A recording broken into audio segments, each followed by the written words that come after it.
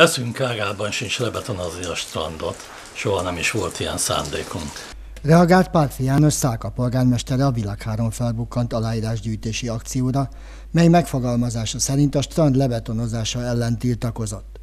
14 esztendeje kötelezően ellátandó feladat lenne a partszakasz védelme, ám a felmerülő költségekre csak most sikerült pályázati forrást szerezni.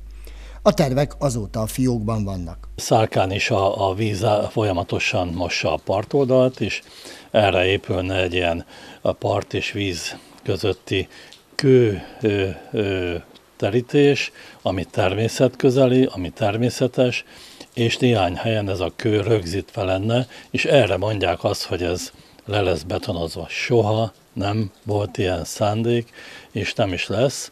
Szálka három esztendeje elnyerte a Virágos Magyarország pályázat egyik díját, és elültetett 14 ezer darab cserét és 600 fát, amely jól mutatja a környezettudatosságot, mondta Pálfi János. A fűfelület úgy megmarad, ahogy van, egyetlen fűszán sem fog meggörbölni, mert mi ezt így szeretjük, és reméljük, hogy a vendégeink is így szeretik.